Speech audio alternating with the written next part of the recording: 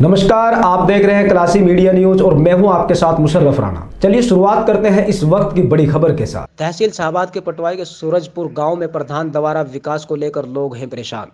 प्रधान द्वारा कोई विकास नहीं कराया जा रहा है। गाँव में नाली न होने के कारण रोड का पानी घरों में घुस जा रहा है। इसी को लेकर लोग परेशान हैं।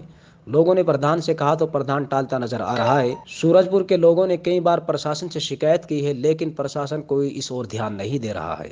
क्या नाम आपका? जगतरी जी क्या मामला है ये आपका यहाँ? जे मामला आएगा ना यहाँ सेक्रेटरी आए ना प्रधान आए और ना और ना कोई कर्मचारी आए बताओ इतना मोह लगा रहे इसमें डूबेंगे थोड़ी ना आके।